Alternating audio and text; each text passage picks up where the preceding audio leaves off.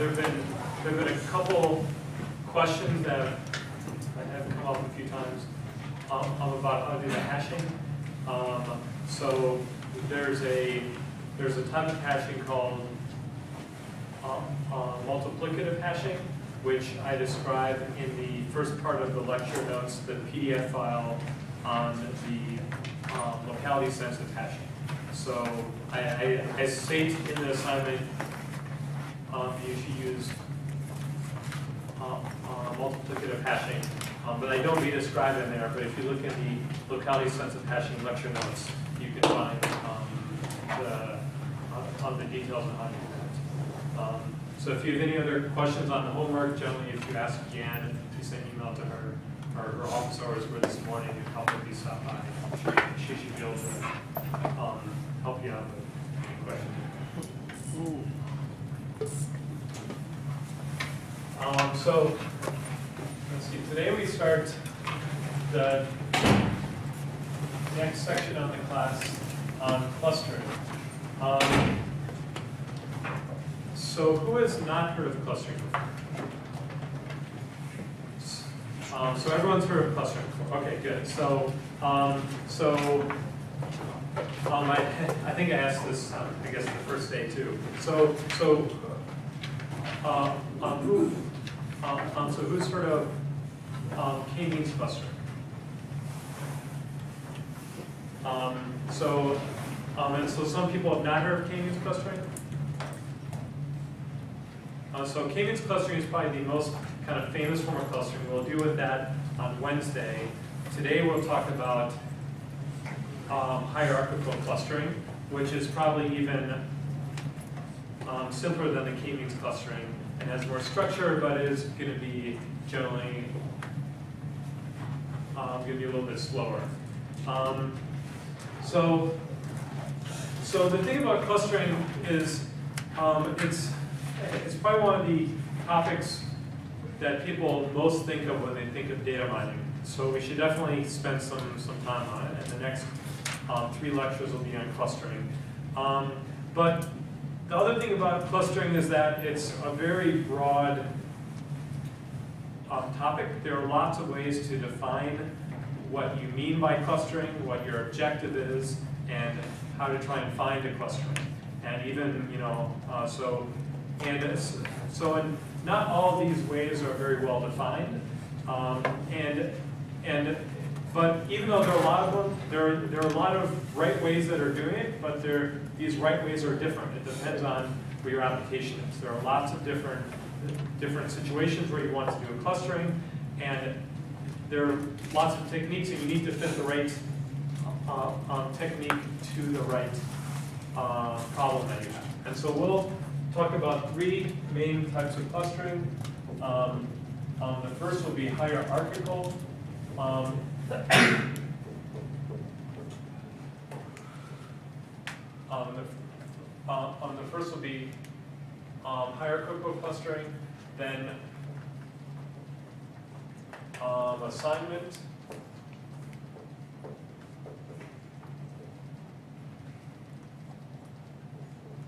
um, based clustering, and so this will include um, so this is the class that includes the k-means type of clustering, and we'll, and I think at the end of today we'll actually get one instance of this, and then the third will be um, spectral, um, spectral clustering. And so spectral clustering is best defined on a graph. So we'll, I'll, I've mentioned graphs a couple times. I'll, I'll redefine graphs and how you think about them and how you do clustering on them at this point.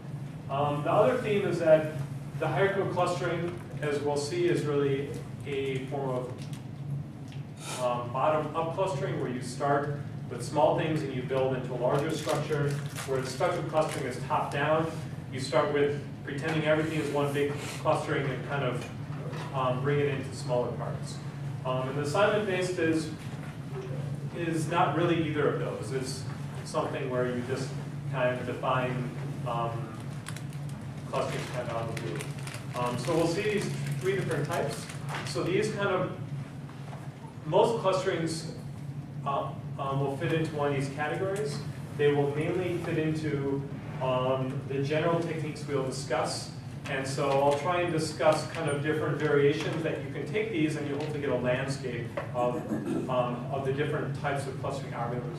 And we'll try and touch on some um, newer techniques um, that have been developed maybe even in the past uh, five or 10 years for clustering, which work uh, uh, much better at larger scale um, and can find clusters of um, kind of uh, more interesting ways of defining clusters.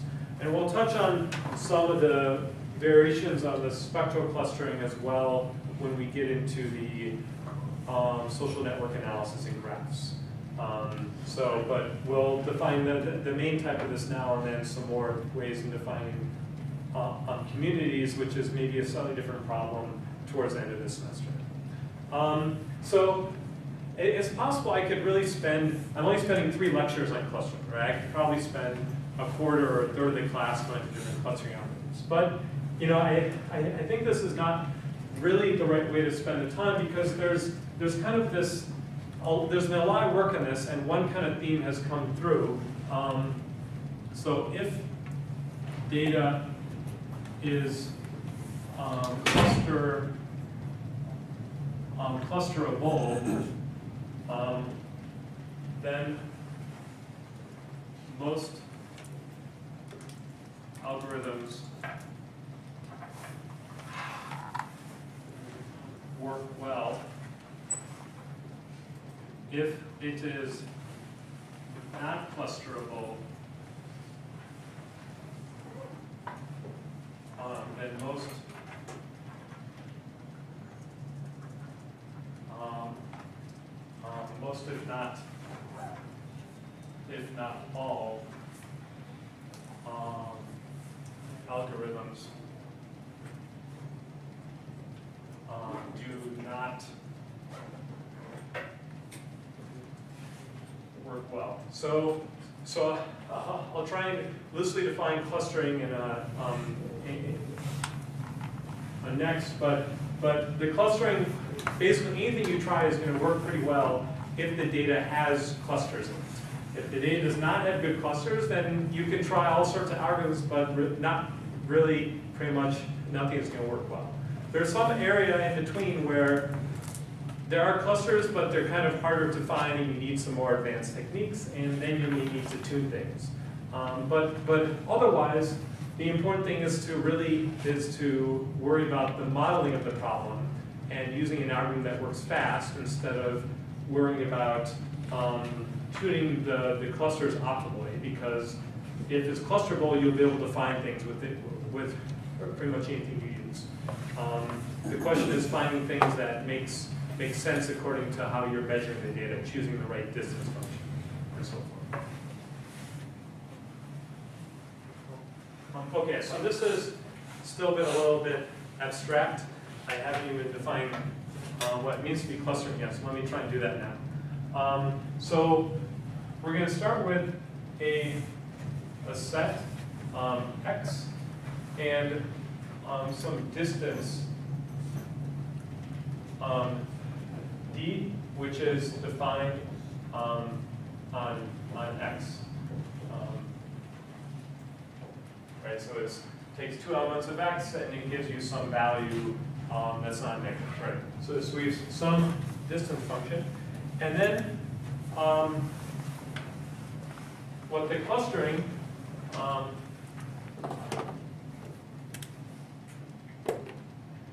and so there are going to be other forms of clustering, soft clustering, ways of modeling data in other ways, but um, I'll define this as known as um, what this is actually known as a hard clustering.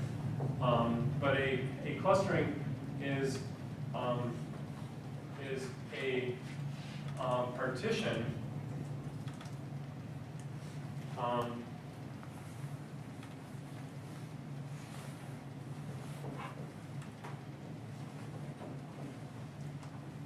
um, so, so it's a partition into set um, where each CI is a um, be a subset of X, so it contains objects in X, and um, and um, each CI, um, CJ for i not equal to j, um, has CI intersect CJ equals the empty set. So the two sets don't have anything in common, right? So, um, and, and also the union of i equals one to k of, of all these sets is going to be equal to x.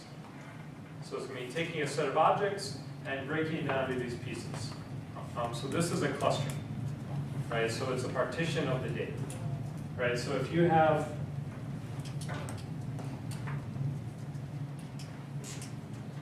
um, some set of data points, it could be that these data points are x. This is going to be one clustering. This is another clustering, and this is the third clustering.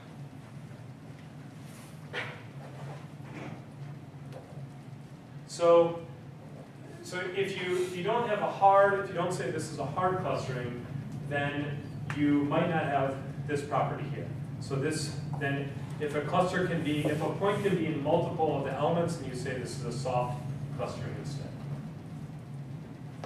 Um, and then maybe you have weights, it's, it's maybe it's one half in one set, one half in another, or maybe three quarters in one, one quarter in another. Um, so and then, yeah, um, this, so this is the basic um, framework you want, and you don't, sometimes you know this parameter k of how many sets you want. In this case, k was three. Um, in some cases, you don't, and you, need to try and figure out how many subsets you. And so the, um, so the, there are many ways of saying how, how good is a clustering. Um, is a um, clustering. And so, um, um, in, in general, there seem to be two sorts of properties uh, um, that you want a, a good clustering to have.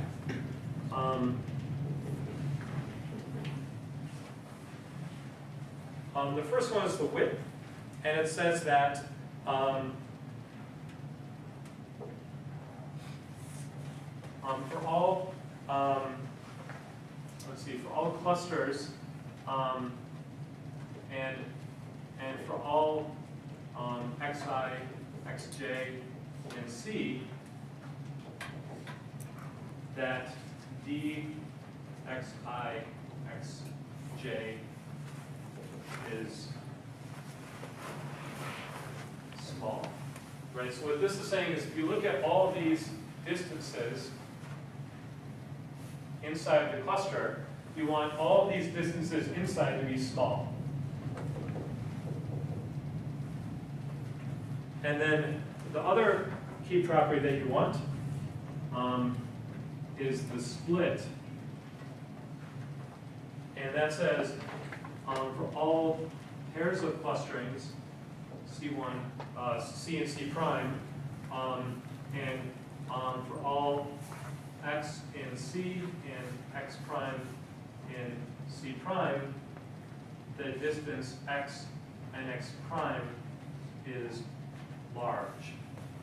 So this is going to be, if you look at these two clusters, you look at all these distances, um, and so this is the split, and you want these distances uh, um, to be large. So you want a cluster itself to have things which are close to each other, and two clusters to have things which are far away. Um, and so sometimes if you just if you just optimize one of these two things, the clustering may not end up um, you know end up end up working well, or the function you're trying to optimize in your clustering is not going to be very stable. Um, but generally, you want both these properties, so you should try and keep both of them in mind when, when considering a clustering algorithm. Um, yeah, so, so, so, so hopefully all this is simple and, all this makes sense. Um, there are any questions, anything, please, please ask me. Um, so, okay, so this, um, so this is clustering in the, um, the most general sense. So now we're going to talk about, you know, the first topic clustering, um, hierarchical. Let's see if I can spell that properly. Um, hierarchical um, cluster. Um, so who's heard of hierarchical clustering before? Uh, so maybe just a few people. Okay. So um, it's pretty simple. So um, so um, um, so here's the basic algorithm. Um, so put each x in xi and x um, in a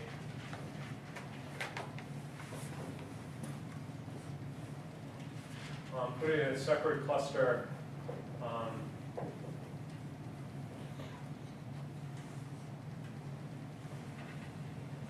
I'll call it CI, so I'll, I'll have a running example at the same time.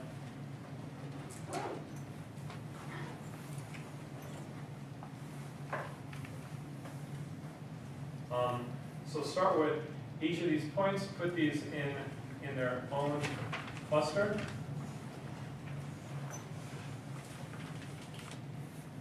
Uh, see, then while um, two clusters are are um, close enough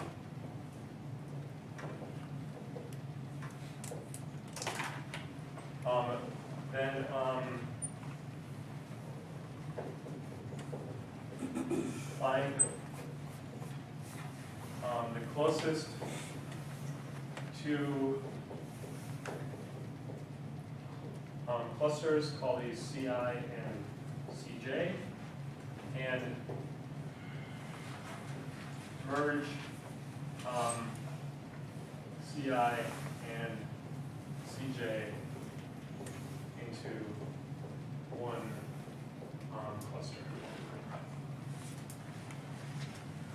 Um, so this is it, and and so there are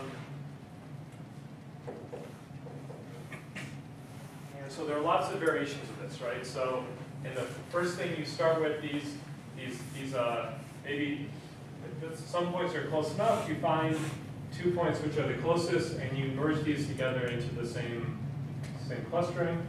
Um, now you say that uh, these two points are close enough. You merge them together in the same cluster. These two are close enough. You merge into a cluster. These are close enough, merge into a cluster. And, and maybe now um, no two clusters are close enough, and you would stop. Yeah. It seems like a tough, tough um, problem of this is determining what to define as a cluster, like how, what the length is between two nodes. Is that something that usually is experimented with to find a data set? Um, yeah, so, um, so the next thing I was going to talk about is there are two kind of things um, that I didn't explain here, right? So I didn't explain what it means to be close enough and what it means to be the closest, right? I have to find a distance in between clusters yet, right? Once I define a distance between clusters, then you know, I can define what close enough means, or, or what the closest is, it's the smallest distance. And then the close enough has some sort of, there's some value at which if the distance is below, um, if, if distance is below this, they're close enough. If it's above it, it's, it's greater than that. Right, so I need to define, the key to this is the distance between the clusters. Right, so, so, um, so this is exactly the right question, right? So um, so, how do I define this distance between clusters? Um, so this is the whole algorithm. Um, it's basis. Okay. So.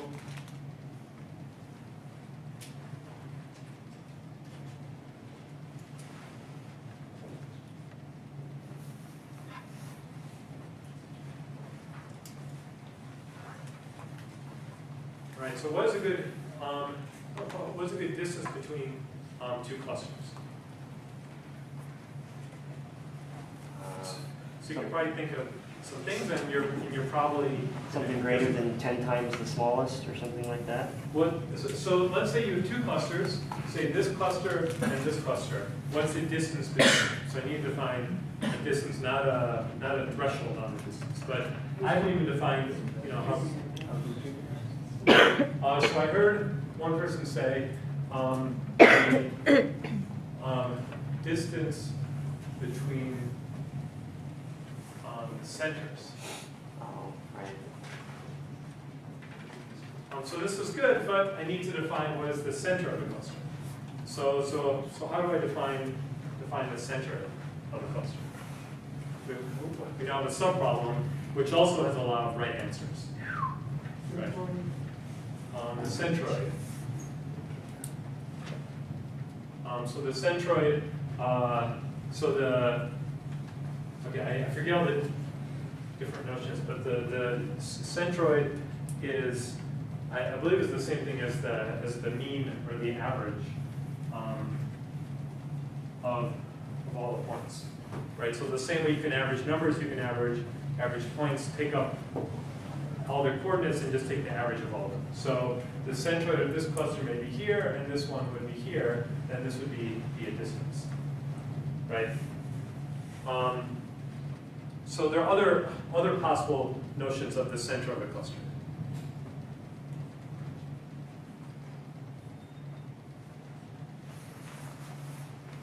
Although this is maybe the most, most obvious. Um, so you can say the, um, the center point of minimum enclosing um, ball. This is known as the MEB, so which is the building over there. Um, So if I, if I have a cluster, there's a single ball which is, which is the smallest ball which contains all the points. Right, so, so if you only have two points, it's gonna be the same thing as the average because these things are gonna be right here. But if you have three points, it may be slightly, um, sli- slightly different. Um, if you have, for instance, if your cluster is points like this, then the centroid is gonna be over here. It's, it's gonna be pulled a little bit by this point, but not too much. Um, but the minimum enclosing ball is gonna look like, kind of like that. It's gonna be a little bit rounder. Uh, and then the center is here, right? So, so what, what is the difference between these two points? This, this one, the centroid, is capturing the mass of most of the points. Um, this one is saying that um, I want to say I want to capture all of the points. I don't want to leave uh, leave anything out, right? This centroid is really ignoring this point to um, this point to some extent, whereas the minimum closing ball is not ignoring, saying I can't ignore that point. So maybe you would you would start with this cluster and then you would eventually add this point because all the other points are over here. And now you want to take the distance, you may take this point instead of this point. Um, and so it, it's describing different properties of the cluster. Depends whether you want to be all-inclusive or talk about the, the center of the, of the mass, which is what the mean or the center is saying. Um, there's also um,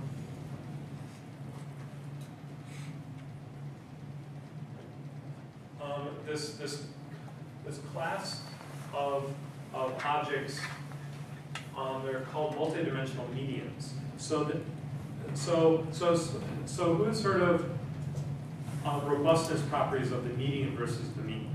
So, so is this, so, um, uh, is this sound familiar? Oh, okay, so, so maybe I'm just being vague, right? So, um, so if you, if you, if you look in, in 1D and you take a set of, of points here, and you have one point out here, right? Now, the, the, the mean of these points may be something like this. It gets pulled over by this point.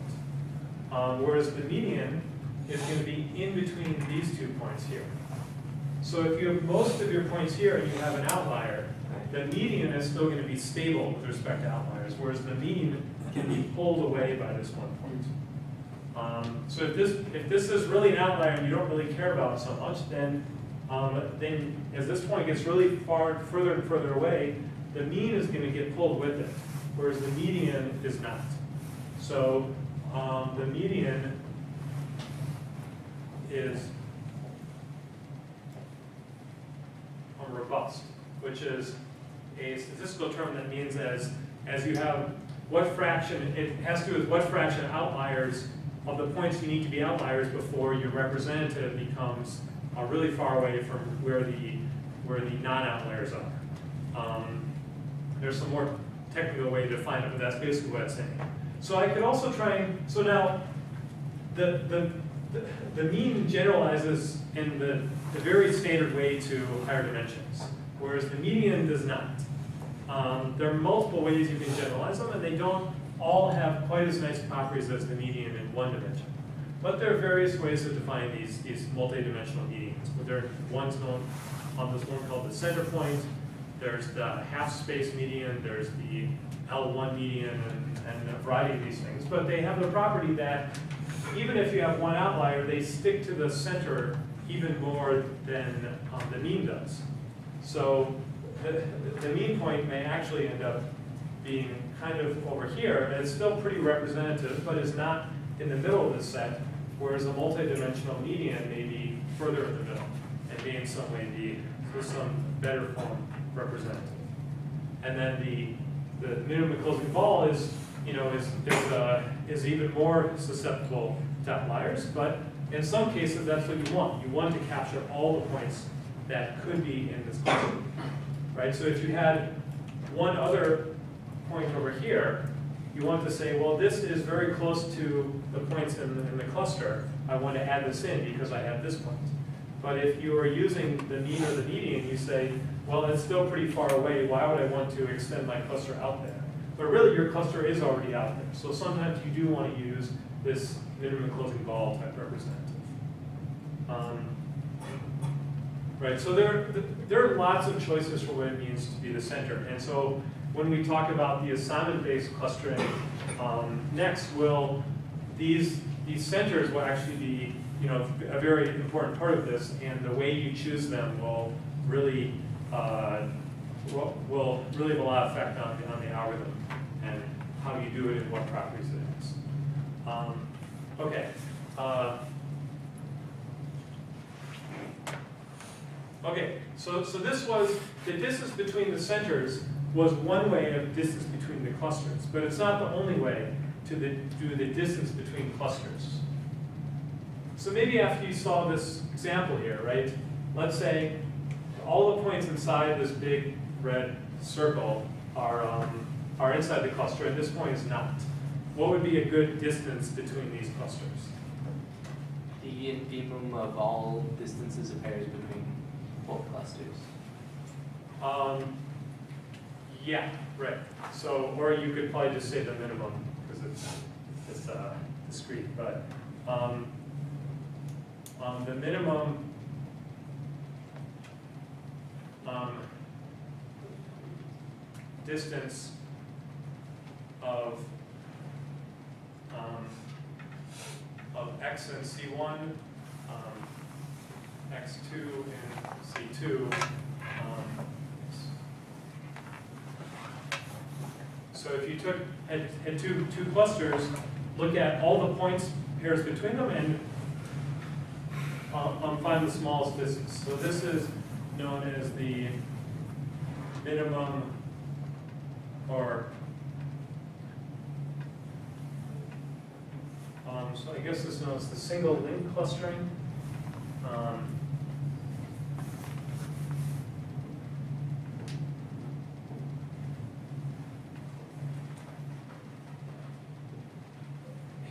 And the idea is, if there's one close distance between the clusters, then you should connect.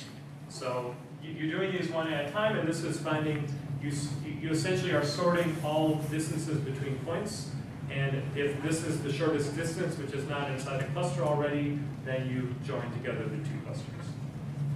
Um, So, so, well, we're using this minimum here, but if you're looking at the distances between the individual objects instead of, instead of the centers of the clustering, there are lots of variation limits, right? Um, You could say, instead of the minimum, um, the maximum.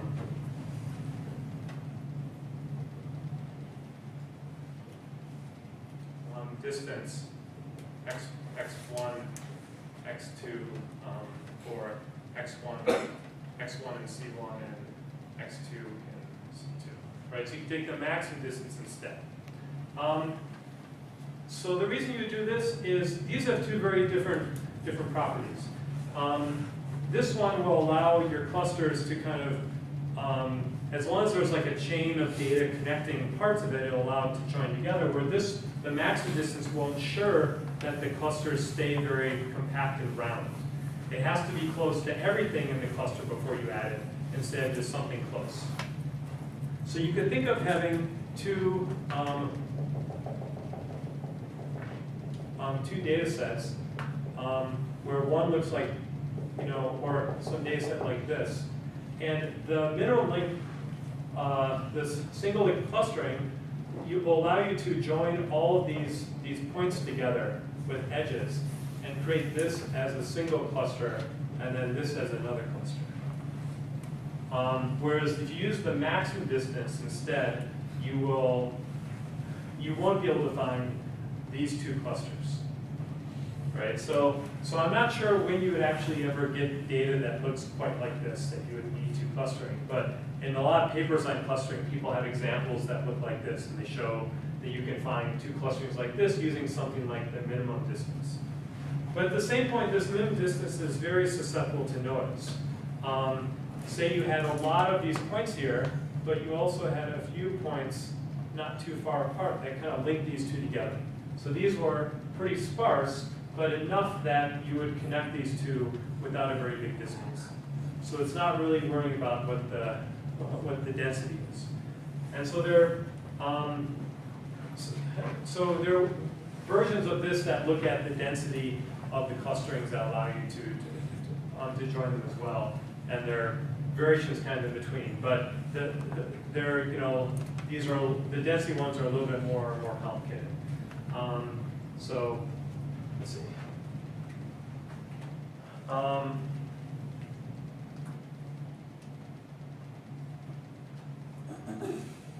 so, so you can also look at instead the minimum or the maximum, you, you, um, you can also look at the average, um, the average distance as well. And this will have similar properties to the maximum, but not, maybe not be quite as uh, susceptible to be, um, to worry about all the points. Um, and then, um, and then other versions are the, the distance could be um, the radius of the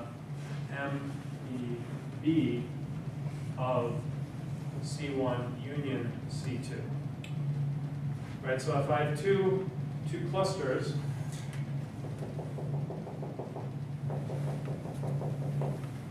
then the distance, if I take the smallest enclosing ball that encloses both of them, and I look at this, this radius, this is gonna be my distance.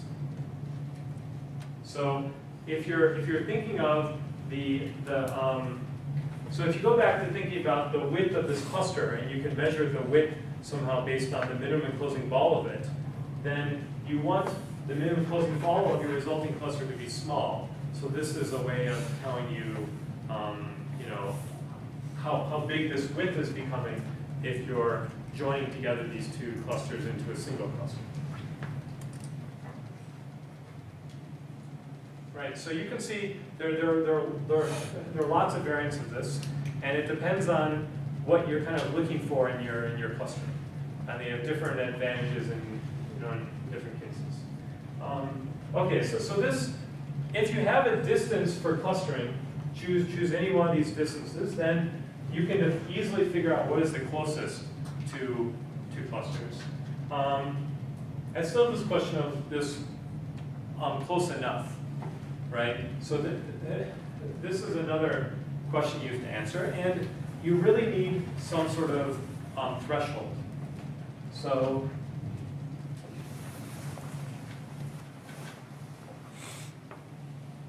So you have to have some parameter that says when are, um, I can join them if they're close enough and I should stop at some point. Um, and there's, there's really um, no way around this. Um, there, there, um, so there are ways based on, on the density of clusters, the density becomes too high, but you need this threshold on the density. Um, there are these um, Bayesian ways of doing clustering, which are supposed to be non-parametric, right? Um, and what they do is they do something like a Dirichlet process, and they add clusters if you need them to capture the data. But the Dirichlet process has a Dirichlet parameter, and this ends up affecting your threshold, right? There's no way around not having a threshold. Sometimes you say, I'm going to have k clusters, so I stop when I have k. k is a very obvious threshold. You need some threshold here in order to know when to stop. Um, so, but there, there are some ways, so, so if you need this threshold, then what you want is some way of defining the threshold that is not too um, sensitive to the data or the clustering algorithm or somehow capturing, you know, is somehow determining the right place to stop. Um, so, uh, uh, so if you just set k ahead of time, and let's say that your, so for instance, let's say your data looks like, looks like this, and you set k equals 2 ahead of time, right? So, well, the thing I want to do is I want to make, you know, these three separate clusters, but if I set 2, I'm going to have to join these two together, and they really shouldn't be joined together. So just, you know, blindly setting ahead of time is, you're possibly going to do some weird things, right? So you want to have a way of setting this threshold so that it, um, it's, it's stopping at some point wisely in some way that the data is telling you on the